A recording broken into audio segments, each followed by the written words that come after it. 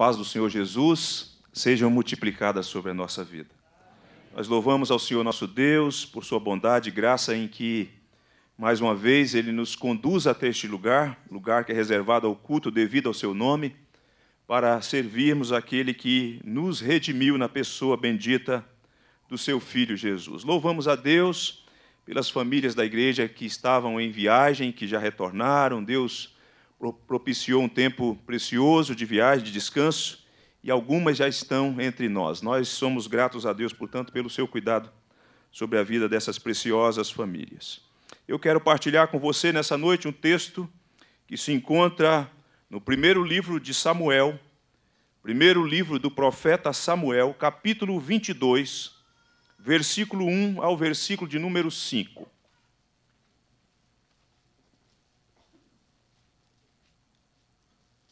Livro do profeta Samuel, primeiro livro do profeta Samuel, capítulo 22, versículo 1 ao versículo de número 5.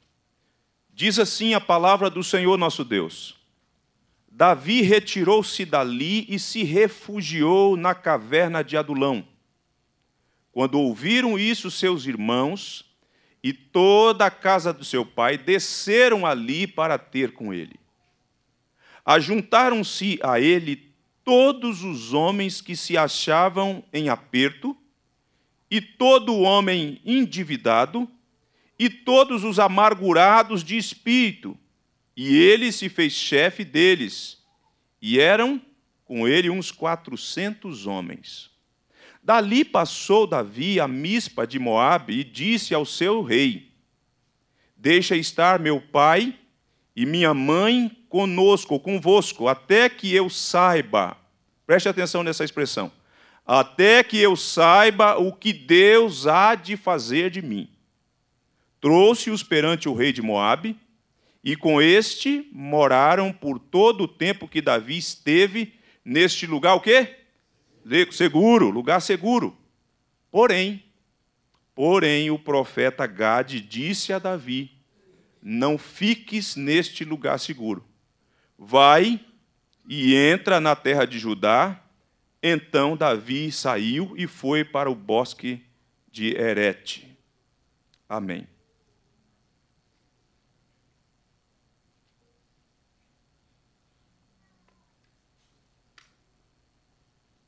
Em busca de segurança é o tema da nossa mensagem nessa noite.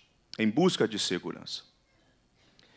E você há de concordar comigo que todos nós queremos segurança. Faz parte da nossa pauta o tema segurança, meus amados irmãos. Nós queremos segurança financeira. E para isso, nós nos preparamos, buscando e pleiteando estabilidade econômica. Nós queremos segurança profissional, um emprego estável para que a gente tenha o mínimo para prosseguir. Nós queremos segurança familiar, um casamento sólido, filhos comprometidos, bem-sucedidos. Nós queremos uma família e segurança na família. Nós queremos segurança, algo que nos faça entender que a nossa saúde vai ser guardada, vai ser protegida, e para isso de acordo com as posses de cada qual, nós buscamos os melhores planos de saúde. Nós queremos segurança social. Nós pleiteamos isso, nós gritamos por isso. Para que as nossas autoridades atentem para a questão da segurança pública, para que nas nossas idas e vindas nós tenhamos segurança. Na verdade, nós queremos nos sentir seguros. Você deseja, eu desejo, todos nós queremos segurança. Esse texto que nós lemos fala que o rei Davi está em busca de segurança. Ele está em busca de segurança, esse homem de Deus. E nós vamos perceber por que, que isso acontece, por que, que isso vai se delineando na experiência do rei Davi, por que, que ele está em busca de segurança nesse estágio da sua vida, na sua caminhada. Por que, que este homem, num determinado momento na vida, passou-se a se sentir inseguro, amedrontado? E daí nós vamos rememorar o que aconteceu com Davi para que ele então tivesse essa trajetória, essa jornada em que ele está buscando algo que lhe propicie segurança para a sua existência. Tudo começa, como você conhece o texto, nós vamos ah, voltar um pouquinho, mas tudo começa quando Davi, ou quando o rei Saul, voltando de um embate contra os filisteus, com o seu exército, e acompanhado de Davi, no capítulo 18, no versículo de número 7, as mulheres de Jerusalém elaboraram, compuseram uma canção. Ah, esta canção aqui, ela vai ser um ponto decisivo naquilo que vai desaguar numa perseguição na vida do rei Davi. E a canção das nossas irmãs no Antigo Testamento, quando estes homens estão voltando da batalha, Vamos voltar também ao versículo de número 6, que diz assim: Sucedeu, porém, que vindo Saul e seu exército, e voltando também Davi de ferir os filisteus, as mulheres de todas as cidades de Israel saíram ao encontro do rei Saul, cantando e dançando com tambores, com júbilo e com instrumentos de música, e qual seja a música? As mulheres se alegraram e cantaram alternadamente diziam: Saul feriu os seus milhares, porém Davi os seus dez milhares. Ah, meus irmãos, quando Saul escutou essa música, e ele se, se, sentiu como desprestigiado pelas mulheres de Jerusalém, que saíram de todo canto para receber os seus homens o seu exército, o seu líder, e com o seu líder, o jovem Davi. E elas entoaram essa canção. Aquele homem que não conseguiu lidar com isso, com seu coração já é, distante de Deus, ele abriga no seu coração um ressentimento e um desejo de matar Davi. Porque este homem não consegue conviver com o reconhecimento do sucesso dos outros.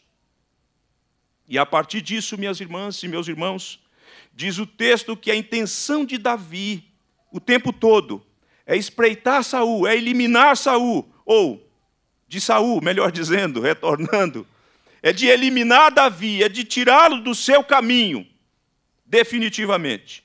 E a primeira tentativa disso nós vemos no capítulo 18, no versículo de número 11 que diz aí o texto, que arrojou dizendo: Encravarei a Davi na parede. Porém, Davi se desviou dele por duas vezes. Este homem tenta matar Davi definitivamente. E não conseguindo, diz a Bíblia que ele vai elaborar um plano para colocar Davi numa situação vulnerável, para que os filisteus pudessem eliminá-lo.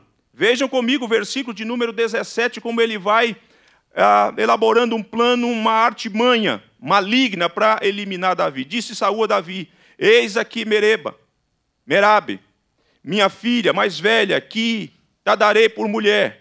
Ser-me somente filho valente, guerrei as guerras do Senhor. Porque Saul dizia consigo: Não seja contra ele a minha mão, e sim a dos filisteus. Ele vai elaborando um plano para que Davi fique numa situação de combate. E nessa situação de combate, no pleito do coração de Saul, ele pensa o seguinte: se isso acontecer, os filisteus irão eliminá-lo e eu não vou manchar minhas mãos, muito embora ele já tivesse tentado matá-lo e não conseguindo êxito nessa jornada, porque todas as vezes que eh, Davi saía em combate, ele eliminava, ele vencia os filisteus e voltava vitorioso. Saul tenta mais uma vez eliminar Davi. E desta feita nós vemos o registro bíblico no capítulo 19, no versículo de número 10, quando diz o seguinte: procurou Saul encravar a Davi na parede, porém ele se desviou do seu golpe Indo a lança ferir a parede, então Davi fugiu e escapou. Diz a palavra de Deus. Meus irmãos, após essa segunda investida de Saúl de modo físico, tentando matar a, a Davi, diz a Bíblia que Davi então foge. Ele está no contexto de Jerusalém e ele vai para a cidade de Ramá, cidade de Samuel. Ele se refugia, ele se esconde lá.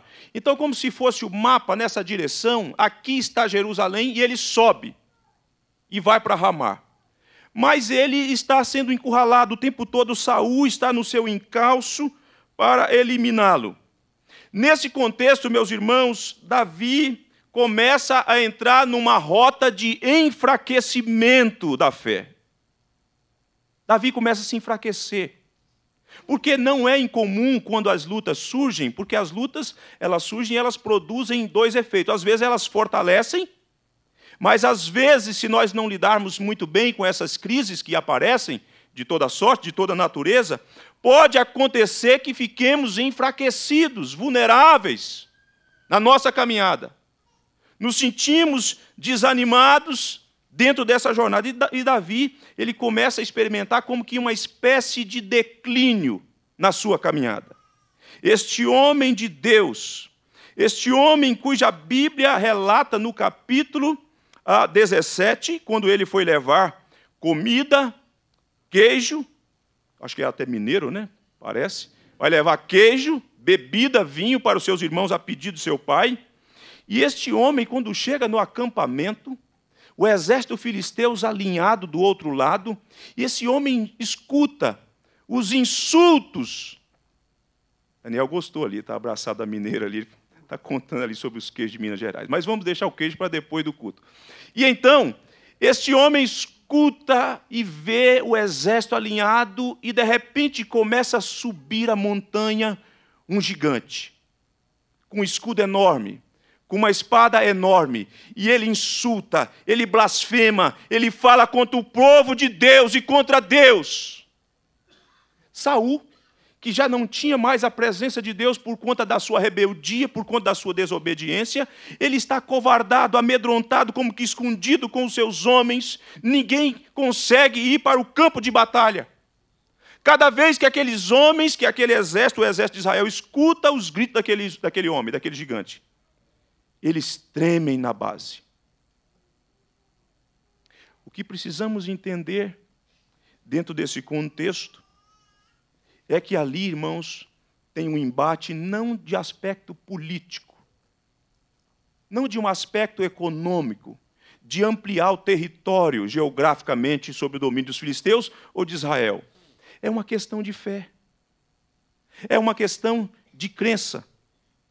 Você vai perceber isso todas as vezes que você lê um texto narrativo, você precisa perceber e encontrar o elemento da fé que vai norteando, delineando, para que Deus mostre, para que você perceba que a resistência dos pagãos tem a ver com a fé. Tem a, fé, tem a ver com as crenças que eles têm no seu Deus. Em contrapartida, Israel está ali também por confiar em seu Deus. E então, quando Davi escuta aquele homem, Davi fala: Quem é esse incircunciso? Quem é este homem para afrontar o exército do Deus vivo? Davi não se conforma, Davi se dispõe, embora recebendo as críticas dos seus irmãos, mas ele se dispõe. E ele escuta falar que o rei está disposto a dar uma de suas filhas para aquele que vencer o gigante Golias. Além disso, receberia a isenção de impostos por parte do rei, a sua família.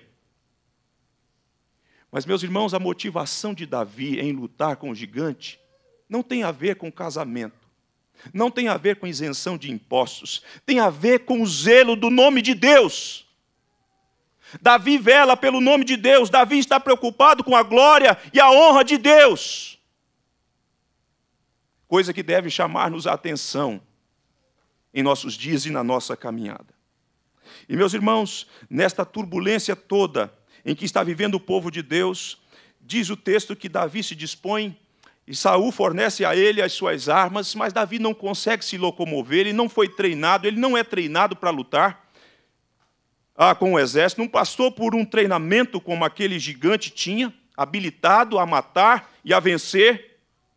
Mas Davi tem uma coisa no seu coração: confiança em Deus. Ele confia em Deus. Ele sabe que a vitória vem do Senhor dos Exércitos. Ele sabe que é Deus quem peleja as batalhas do seu povo. E Davi, então, se livra das armas de, de Saul e apanha cinco, cinco pedras e se alinha ao campo de batalha. E o capítulo 17, portanto, vai dizer o que acontece. E aqui você percebe aquele elemento da religião, da fé, que aparece aqui. O filisteu, capítulo 17, versículo de número 41. O filisteu também se vinha chegando a Davi, e o seu escudeiro ia adiante dele. Olhando o filisteu e vendo a Davi, o desprezou, porque era moço, ruivo e de boa aparência. Disse o filisteu a Davi: Sou eu algum cão para vires a mim com paus? E olha só o elemento que eu falei com vocês. E pelos seus deuses amaldiçoou o filisteu a Davi. Disse mais o filisteu a Davi: Vem a mim e te darei a tua carne, as aves dos céus e as bestas feras do campo. Ah, que vem o porém. Davi, porém, disse ao filisteu: Tu vens contra mim com espada e com lança e com escudo. Eu, porém, eu, porém, vou contra ti em o nome do Senhor dos Exércitos, o Deus dos exércitos de Israel, a quem tens afrontado. Hoje mesmo, hoje mesmo o Senhor te entregará nas minhas mãos, ferir-te-ei, tirar-te-ei a cabeça e os cadáveres do arraial dos filisteus darei. Hoje mesmo as aves dos céus, as bestas feras da terra e toda a terra saberá que há Deus em Israel. Saberá toda esta multidão que o Senhor salva, não com espada, nem com lança, porque do Senhor é a guerra e ele vos entregará nas minhas ou nas nossas mãos. É este o homem do primeiro momento. É este o homem, Carlitos, do primeiro momento, cuja esperança, cuja fé está robusta e fortalecida. Ele vai para o campo de batalha, ele não confia em si mesmo, ele não confia nas armas do rei, ele confia na ação de Deus. E aí vocês sabem o enredo da história: o gigante tomba, o gigante cai, e ele lança a mão na espada do gigante e corta a cabeça do gigante e volta vitorioso. Mas, meus irmãos, nós estamos no momento em que Davi está em busca de segurança depois de um tempo. Um homem vitorioso, um homem que vai para o campo de batalha, que não tem preparo, muito embora ele tenha um histórico, quando Saul questiona, falando assim, mas você não tem treinamento, e ele tem um histórico. Ele fala: não, eu já venci um urso. Eu já venci um leão. O Senhor entregou esses dois animais em minhas mãos. Eu posso não ter ido ao campo de batalha, eu posso não ter lutado com nenhum filisteu, mas eu tenho uma experiência com Deus e ela me credencia. Mas, meus irmãos, quando Saul definitivamente começa a perseguir a Davi, Davi vai se esgotando. E foge de um canto para o outro. Ele vai ficando vulnerável. A inquietação assola e assalta a sua vida. E Davi começa a viver uma espécie de carência extrema. Uma carência extrema. Davi começa a ter necessidade de pão. Davi, Davi começa a ter necessidade de convívio, de abraço, de gente para estar com ele. E o que ele tem? Até mesmo o seu amigo, filho do rei, ele precisa se distanciar do seu amigo, de uma amizade que, que é carregada de votos, de afetividade, de amor. Mas ele tem que se distanciar, ele tem que se esconder, ele foge daqui, dali para colar, e o rei está no encalço dele. E o que Davi deseja? Segurança. Ele precisa de segurança. O contexto revela que Davi está em busca de segurança, em suas fugas. E a sua fé vai ficando como que vulnerável, fragilizada. Nesse contexto, sabe o que acontece? Quando uma pessoa está vulnerável, quando uma pessoa está enfraquecida, ela corre o risco de recorrer a meios e a situações que noutra situação ela não faria. Ela não buscaria recursos que não aqueles que são disponibilizados pelo próprio Deus. Mas nessa fragilidade a gente corre o risco de buscar esses instrumentos que, noutro momento, nós repudiávamos. E eu chamo a sua atenção para que você me acompanhe, para chegarmos no texto onde nós lemos, no capítulo 22. Você vai perceber no capítulo de número 21 que Davi Nessa, é, veja só, ele subiu para a cidade de Ramá. Acompanhe comigo isso na sua cabeça. Ele está em Jerusalém, foge para Ramá, volta e depois ele passa direto, descendo. Passa por Jerusalém e o capítulo de número 21 vai dizer que Davi vai para uma cidade, para um lugar chamado Nob, onde tem sacerdotes, onde tem homens de Deus. E quando ele chega ali, numa fuga, a partir do capítulo, 20, é, é, o capítulo 7, ou versículo 7, melhor dizendo, 21, 7, Davi, na conversa com o sacerdote, achava-se ali naquele dia um dos servos de Saul, detido perante o Senhor, cujo nome era Doeg, Doeg, Edomita, o maioral dos pastores de Saul. Disse Davi a Aimeleque: Não tens aqui a mão, lança ou espada alguma? Porque não trouxe comigo nem a minha espada, nem as minhas armas, porque a ordem do rei era urgente. Veja só, nesse aspecto vulnerável, quando a pessoa está vulnerável e vai se enfraquecendo, ela corre o risco de começar a negociar algumas coisas. Davi está mentindo. Ele não está ali a serviço do rei, ele não está, não está numa missão secreta, ele está fugindo. Ele está sendo perseguido e ele mente para o homem de Deus. E isso vai custar a vida dos sacerdotes, irmãos, naquele lugar. E veja como que a coisa vai se agravando. Respondeu o sacerdote: A espada de Golias, o filisteus, o filisteu, a quem mataste no vale de Elá, está aqui, envolta num pano detrás da estola sacerdotal. Se a queres levar, leva-a, porque não há outra aqui, senão esta. Disse Davi: Não há outra semelhante. Dama. Você consegue perceber como que ele, esse aspecto vulnerável, que este homem que venceu Golias, que este homem que venceu um homem que tinha confiança em seus deuses e num instrumento, que Golias tinha a confiança na sua espada, agora este homem na fragilidade, ele se apropria de um instrumento de um pagão pensando que o instrumento do pagão vai protegê-lo, pensando que o seu êxito nessa jornada dar-se-á por meio da espada daquele a quem ele tombou do campo de batalha.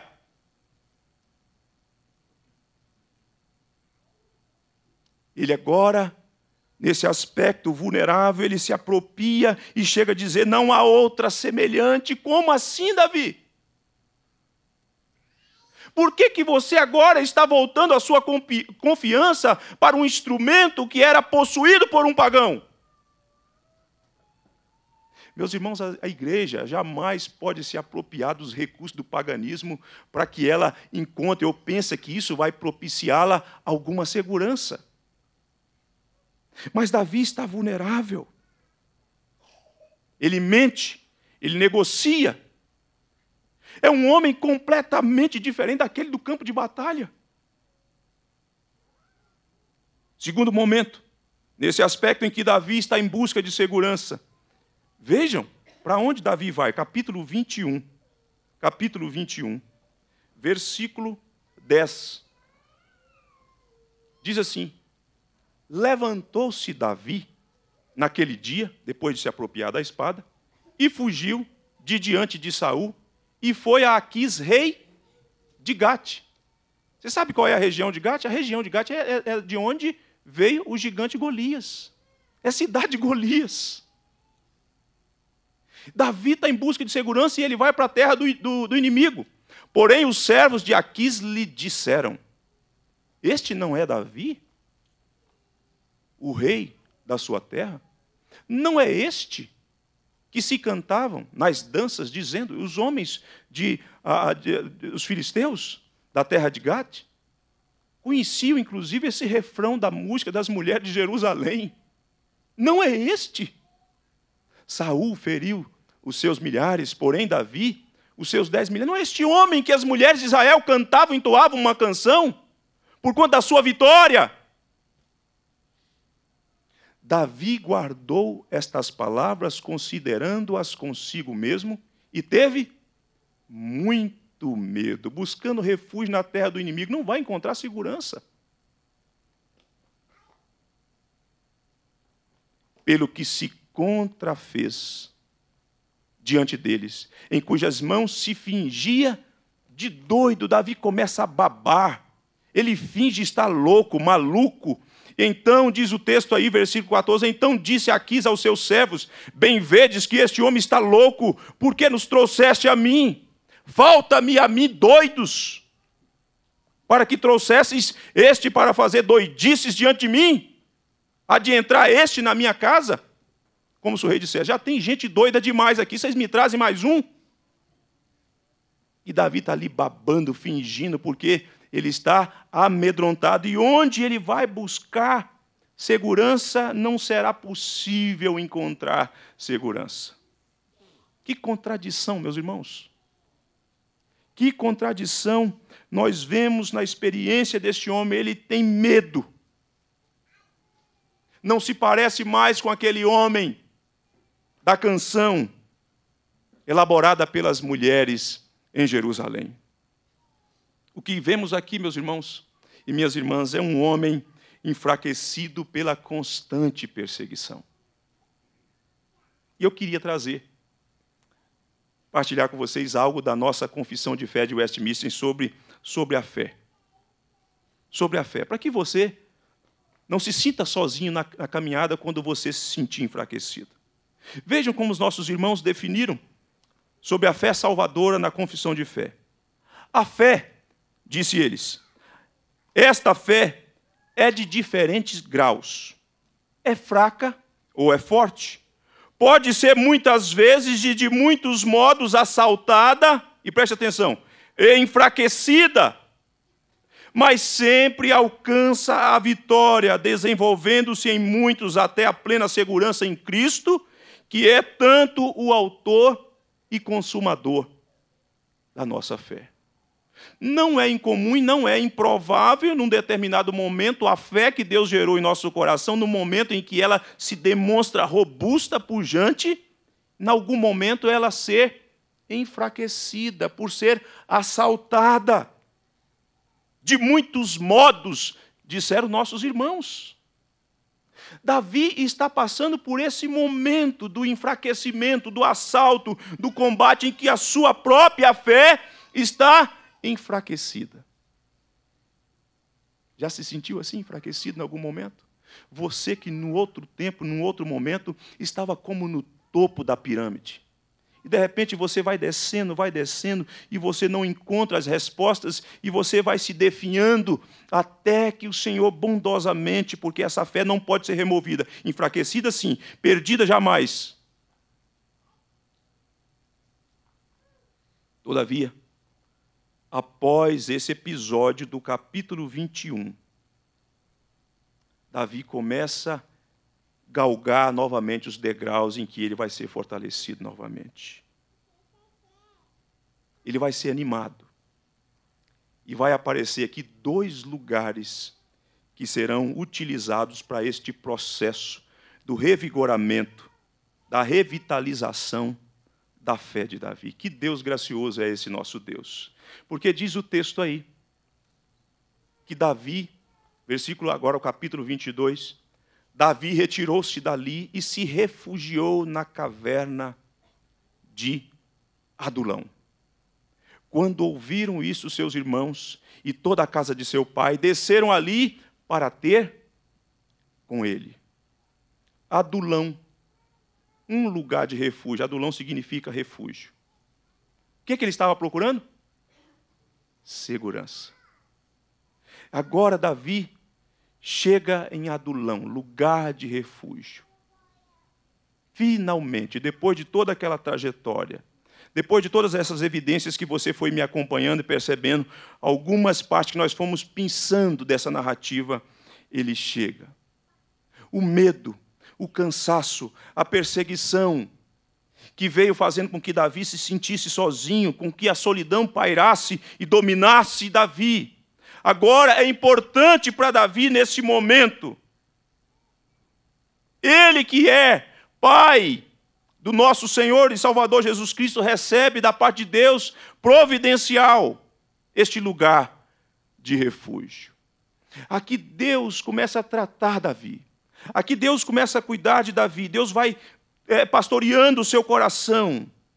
E ele vai como que recobrando ânimo para caminhar. E uma das coisas que Deus usa, meus irmãos, para nos fortalecer na caminhada, é a bênção da instrumentalidade da família. A família. Família é algo magnífico. Diz o texto que quando ele chega em Adulão, quando ouviram isto, seus irmãos e toda a casa de seu pai desceram ali para ter com ele. Eu não sei com precisão quanto tempo Davi está nessa jornada da fuga. Quanto tempo Davi não tinha a oportunidade de abraçar o seu pai, a sua mãe, e os seus irmãos. Quanto tempo distante. E agora, nesse lugar de refúgio, Deus como que direciona, seus irmãos sabem, os seus pais sabem que ele está ali, e eles descem para lá. Quanto mimo da parte de Deus agora para trazer refrigério para Davi. Eu fico imaginando a cena. Eu fico imaginando o abraço, os beijos, as lágrimas, o aconchego, talvez a mãe de Davi passando as mãos na cabeça dele e tendo Davi no colo, no peito, podendo abraçá-lo, um homem que estava enfraquecido e amedrontado. Ele tem o aconchego da sua família, o apoio da sua família. Família é bênção de Deus, família é coisa de Deus. Você precisa aprender a valorizar sua família. Você precisa olhar para sua família com um olhar de graça e perceber que Deus usa a sua família para te encorajar, para te fortalecer, para te ajudar na caminhada. Nós temos uma mania de começar a olhar para a família do outro e achar que a família do outro é melhor, que a família do outro tem virtudes que você não encontra na sua. Você precisa atentar para o aconchego e o convívio com a sua família. Valorize a sua família. Esteja próximo da sua família. Permita que nos encontros familiares você usufrua desse aconchego que é propiciado pelos encontros familiares. Os irmãos de Davi e os pais de Davi desceram no momento crucial da vida de Davi, em que ele se sentia só, em que ele se sentia abandonado, em que ele está buscando refúgio. E ele chega em Adulão e lá desce a sua família para estar com ele.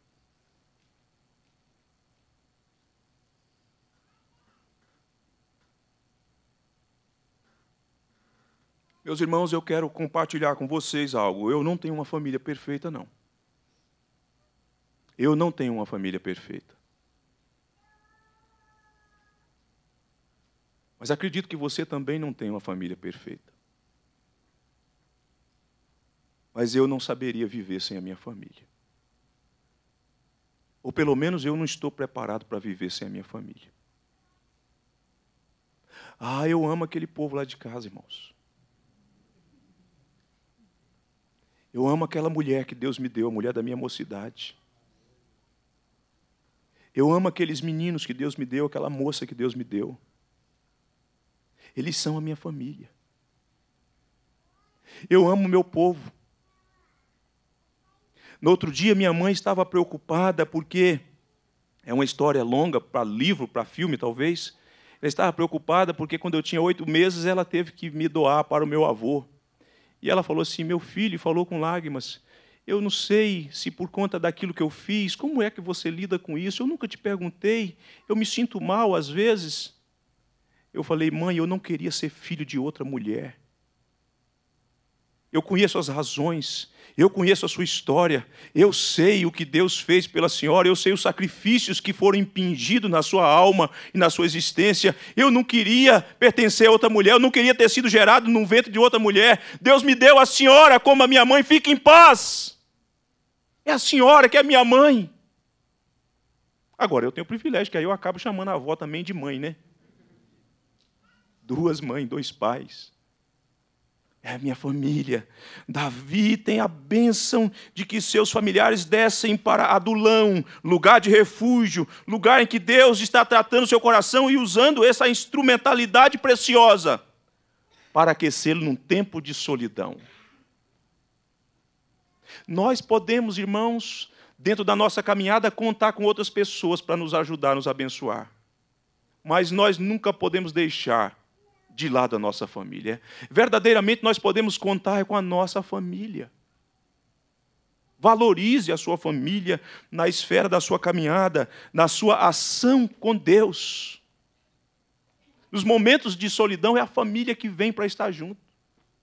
É a família que vem para chorar junto com a gente. Todos nós já enfrentamos em algum momento um pouco de solidão. E tem gente que até explora esse negócio da solidão para ganhar dinheiro. Eu conto uma história para vocês de um homem americano que fez da solidão um negócio para ganhar dinheiro. Isso está escrito no livro Sentido da Vida, esta história verdadeira. Ele colocou, diz o, o autor, ele colocou um anúncio num classificado de um jornal que dizia: por cinco dólares eu escutarei você durante 30 minutos sem fazer comentários. Sabe o que aconteceu? Ele recebeu, em média, 10 telefonemas a 20 telefonemas por dia. Quem é bom de matemática, e quanto deu aí?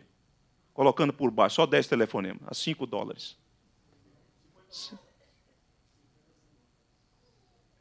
Fez disso um negócio. Por conta da carência. Porque certamente essas pessoas que buscaram esse recurso querendo ser escutada, elas não tinham isso mais na família. A solidão é que predominava. Agora, nós, Igreja de Deus, além de família, temos a família da fé. Gente que nos escuta, gente que ora conosco, gente que nos abraça, gente que nos encoraja por meio da palavra de Deus e por meio do testemunho daquilo que Deus fez e Deus está fazendo porque os embates são muitos e eles vêm para nos enfraquecer. E aqui nesse contexto, Deus usa a família de Davi, mas além disso, além disso, nesse momento, diz aí o texto que algumas pessoas, não com um currículo elogioso, o currículo desse, dessas pessoas não, uh, não é um currículo legal, mas isso aqui tem muito a ver com o nosso Senhor Jesus Cristo, e no final nós vamos perceber isso que diz o texto, que em Adulão, lugar de refúgio, juntaram-se a ele todos os homens que se achavam, em primeiro lugar, em, em aperto.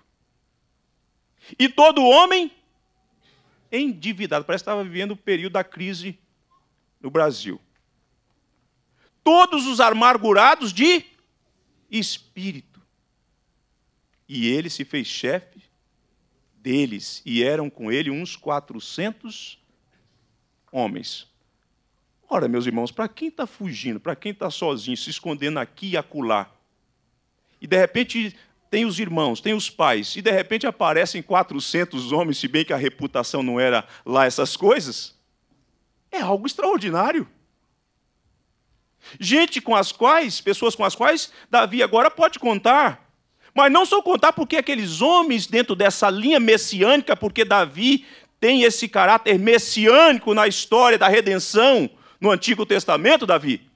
E, portanto, esses homens amargurados, endividados, em aperto, veem naquele que é pai do Senhor Jesus esperança nele. Que coisa magnífica. E eles se juntam ao Davi, e eles são liderados agora pelo rei Davi pelo rei Davi. Mas depois de um tempo aqui, irmãos, nós temos a menção do segundo lugar deste homem que está procurando em busca de segurança. E aí ele vai sair do território de Israel. e diz o texto: Dali passou a Davi a mispa de Moabe. E disse ao seu rei: Moabe te lembra alguma coisa?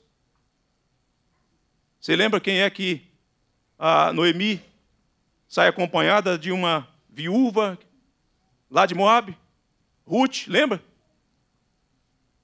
Deixa estar meu pai e minha mãe conosco, até que eu saiba o que Deus há de fazer. Não é fazer por mim, não, o que ele vai fazer da minha vida. Ele está tá se colocando agora. Veja só que aquele declínio, ele agora está em ascensão, ele começa a galgar os degraus de novo. A fé pode enfraquecer, mas pode ser fortalecida de novo. Mas ele ainda está buscando segurança. E é ele pede asilo em Moab, em Mispa de Moab. Talvez por conta do conhecimento da sua ancestral, da sua bisavó, Ruth. Davi tem sangue de Moabita, irmãos. Você sabe para que isso, para que esses detalhes da Bíblia? Para você perceber que a graça não se permite ser confinada, não. A graça não se permite ser manipulada por ninguém, nem por instituição nenhuma, ela é livre. Ela vai onde quer, ela alcança quem quer, ela faz como apraz ao Deus que está conduzindo a história. Mas nesse momento, este homem vai para a Mispa de Moabe. Adulão é lugar de refúgio, Mispa, um lugar que oferece segurança, significa isso. Percebe como que ele vai se delineando, como ele vai buscando alguma coisa para se agarrar? Lugares, meios, e Deus vai usando pessoas para pastorear e conduzir a vida deste homem. Finalmente a sua fé começa a ser revitalizada, mas ele começa a achar confortável e bom ficar em Mispa de Moabe, lugar de segurança. Porque afinal, era isso que ele estava procurando. Era isso que ele pleiteava, que ele almejava e, portanto, ir para este lugar encontrando asilo para ele, para os seus pais, é algo fabuloso, maravilhoso. Porque Davi, diz aí o texto, que trouxeram-os perante o rei de Moabe, e com este moraram por todo o tempo que Davi esteve, onde? Neste lugar? Lugar seguro. Ele está agora, finalmente, num lugar seguro. Parece que está tudo resolvido, não parece? Está tudo certo? Era disso que eu precisava? Encontrei asilo? Não estou mais sozinho? Meus pais estão comigo? Meus homens também estão me seguindo? E como que agora descansado? Mas você sabe que algumas coisas que Deus nos dá, que nos faz bem, que pode fazer e gerar no seu coração a sensação de segurança pode se tornar um ídolo para você, uma coisa que em si mesma não é ruim. Tem problema nenhum você ter um plano de saúde, tem problema nenhum você ter uma economia estável, não tem problema nenhum você ter um, um emprego sólido, estável, que você nunca vai ser mandado embora, né? pelo menos teoricamente falando. Não tem problema nenhum você pleitear um casamento, uma família sólida, bem-sucedida, bem arranjada, bem localizada. Não tem problema nenhum. O problema é que isso, em algum momento, pode se tornar uma armadilha para o seu coração e você começar a pensar que a segurança da sua existência são estes elementos. E você começar a pensar, mas pastor, eu passei no concurso público em Brasília, eu estou muito bem, obrigado. Meu salário é diferenciado. Além disso, eu tenho um plano de saúde excelente. Ah, não tenho que temer. Você substitui o objeto da sua confiança, enquanto que o objeto da sua confiança deveria ser Deus, e você coloca a sua confiança nos meios. Quando isso acontece, você está à beira de uma perdição. Quando isso vai envolvendo o seu coração e transmitindo para você essa falsa confiança, você está prestes de uma perdição. Está prestes à queda, uma destruição. Mas Deus que cuida de nós, Deus que nos ama, Deus vem nos desafia para saber em quem nós confiamos, a quem nós amamos. Diz o texto aí, irmãos, quando tudo depois de um tempo está resolvido, em que Davi agora está mais fortalecido, está revigorado, porque ele não está pleiteando o que Deus vai fazer por mim, mas o que Deus vai fazer de mim, ele se coloca, ele se submete ao que Deus vai fazer da minha vida. Minha vida é dele. Mas ele continua em Moabe, em Mispa de Moabe. E aí aparece o profeta Gade. Ah, o profeta Gade chega lá. O homem de Deus chega lá em Mispa de Moabe. O texto não dá conta de muitos detalhes. O texto é muito objetivo em trazer a fala de Gade que é direcionada a Davi quando ele estava num lugar seguro. E é aqui que vem o desafio.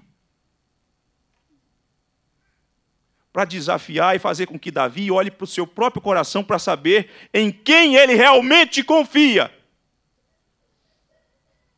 E o profeta Gade disse a Davi: Não fiques neste lugar seguro. Como assim?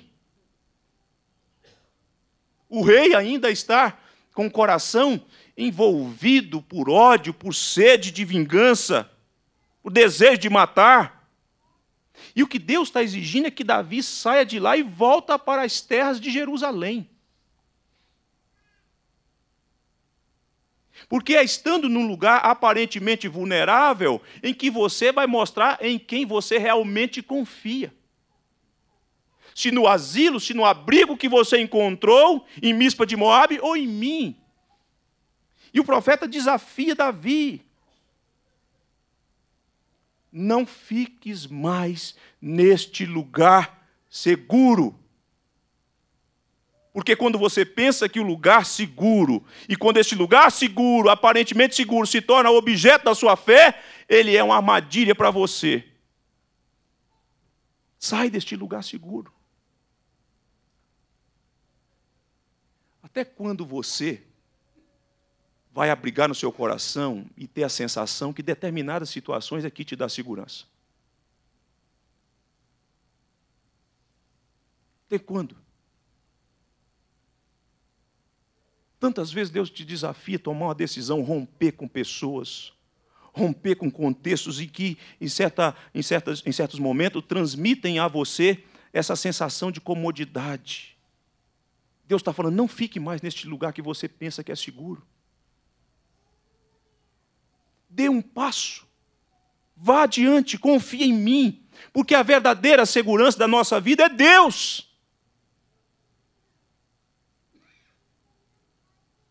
Você precisa aprender a descansar em Deus. porque se o guarda de Israel não vigiar, em vão vigia a sentinela. Não tem nada errado de você construir um bom muro para sua casa, colocar cerca elétrica, mas a sua segurança é Deus. Não tem nada de errado de você fazer o seguro do seu carro, da sua casa, como precaução, mas quem te dá segurança é Deus. Não tem nada de errado de você fazer um bom plano de saúde de acordo com as suas posses, mas quem cuida da sua saúde é Deus. Vai no hospital que você vê lá. Gente rica, gente pobre, gente intelectual, gente ignorante. E ali nós somos nivelados, porque nessas horas não tem dinheiro que pode nos poupar de certas coisas, e nós precisamos, irmãos, usufruir dos mecanismos que Deus usa na providência, sem contudo fazer dos mecanismos a nossa confiança. Porque nada acontece nesse mundo sem a aprovação e o comando da soberania de Deus. Eu preciso terminar.